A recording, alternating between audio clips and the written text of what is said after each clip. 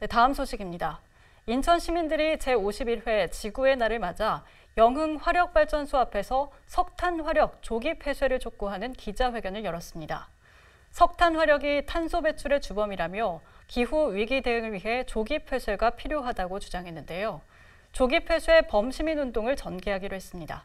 이형구 기자입니다. 석탄 화력 대신에 재생에너지 확대하라! 확대하라! 인천 지역 10개 시민단체가 영흥 석탄 화력발전소 조기 폐쇄를 촉구하며 한자리에 섰습니다. 발전소 담장에 조기 폐쇄를 촉구하는 문구를 설치합니다. 또 풍력 발전소를 본따 만든 페트병 바람개비도 함께 겁니다. 인천 탄소 배출의 절반을 차지하는 영흥 화력발전소의 문제가 석탄에 있다고 보고 이를 신재생 에너지로 바꿔야 한다는 의미를 담았습니다. 수도권 탄소 발생의 주범인 영흥 석탄 화력 발전소를 그대로 둔 채 인천시와 정부가 기후 위기를 대응한다는 것은 헛구호일 뿐이다.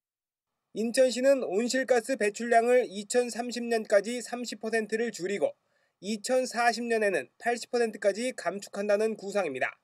하지만 정부의 9차 전력 수급 계획을 보면 영흥화력 1, 2호기는 2034년까지, 5, 6호기는 2044년까지 쓴다는 계획입니다. 때문에 인천시 구상에 실효성 의문이 제기됩니다.